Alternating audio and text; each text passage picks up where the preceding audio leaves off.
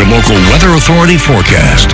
Well, good evening, everybody. We've got some nice blue skies out there for today with a lot of cumulus clouds showing up here. Those popcorn clouds that we know and love so well should make for a very beautiful sunset out there, especially with as much clear sky as we're seeing in between each one of those clouds. It should make for, again, a beautiful sunset, but unfortunately, these are not really likely to bring us any rain. You can really see that they're kind of flat, especially in terms of cumulus clouds. They really just kind of look like sheets of clouds trying to puff up rather than the puffy popcorn clouds that we usually see around this time of the year. Either way, Roofs by Nicholas gives us a, a great look outside at the Odessa skyline, including those clouds. But switching over here to our satellite and radar, you can see that there is actually plenty of rain south of I-10 and off to our north and west. But here in West Texas, most of that rain is remaining just that regular old rainfall. Really not seeing a whole lot of potential for these storms that we've got here south of I-10 to intensify too much at all. I really don't expect any hail cores or anything like that. I do have lightning strikes turned on in the imagery here.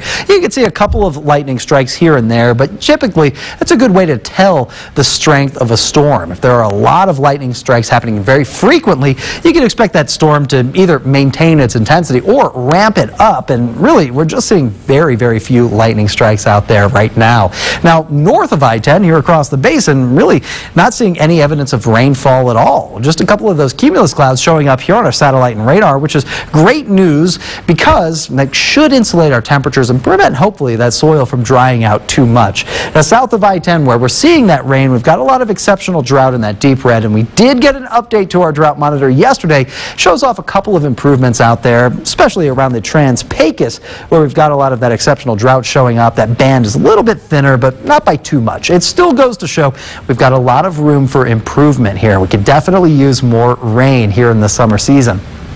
Now, temperatures tomorrow will back down into the low 70s under some mostly sunny skies, but as we head into the afternoon time, I do expect our skies to begin filling up once again with those cumulus clouds and maybe picking up a couple of isolated showers. Now, notice how isolated these showers are here according to our model, and also notice the timing. They likely will start up by about 2, 3 p.m. in the afternoon across the basin and south of I-10, remain very sporadic and very weak. As we head into the further afternoon, we notice that those, those showers do begin to lift by about 5, 6 p.m. in the evening. Now, we're really not looking at a whole lot of intensity for any thunderstorms, nor do I expect any plans to get rained out. By 8 p.m., just before sunset, we're very clear here across the basin. And switching over here to our seven-day forecast, I do have a 0% chance for rain here in Odessa Midland for Saturday and Sunday, but the actual story is a little bit more complicated than that. I'd put it at about maybe a 5% chance at most. Either way, really not looking at a whole lot of intensity to any of this rainfall, and I don't expect it to last very long. So while it does say 0%, there is a small possibility that you might get sprinkled on for a very short time, but it'll remain just that. Very light showers for a very short time. Again, I don't expect any plans to get canceled. So great news there, Madeline and Ozzy. Great news. Um, it's okay. I mean, as long as the fireworks, I'm like trying to think on the right side. Um, as long That's as the the, biggest thing. fireworks don't get canceled, I'm Yeah, okay. I really don't expect them to. It, it should be great weather as we head into the evening, especially after sunset. Absolutely. All right, Chase, thanks so much for Thanks. that.